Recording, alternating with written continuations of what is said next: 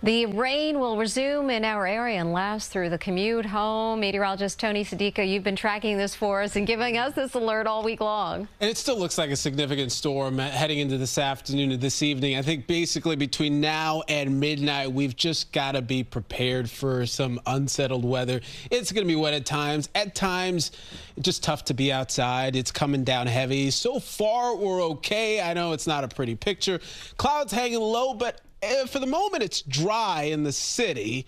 That's going to change quickly. Mild too at 50 degrees with that light variable breeze at the moment. A bit of wet start to the year. I know February kind of below average rainfall, but overall nine inches for the year. That's a surplus, and we're going to keep adding to it with more rain to come today. So by the time it's all said and done, we're waking up tomorrow. How much can we pick up in the rain gauge? Well, most models still liking an inch, inch and a half plus plus will be common.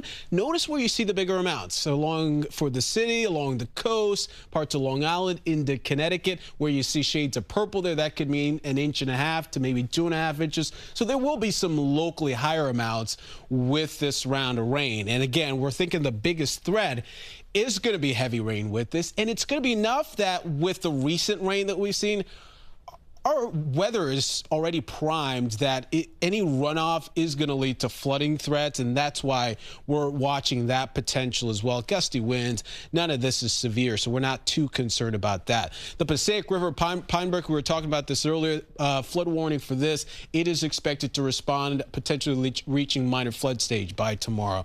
There's what we've got on the map right now. Showers moving in Ocean and Monmouth County. If you live basically between uh, Trenton uh, up across parts of Middlesex, County, like Cranbury.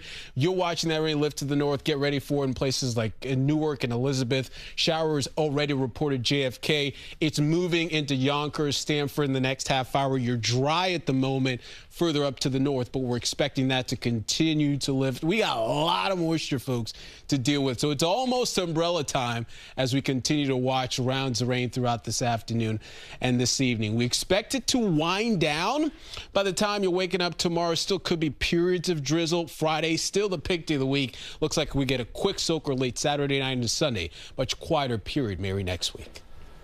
Tony, thank you.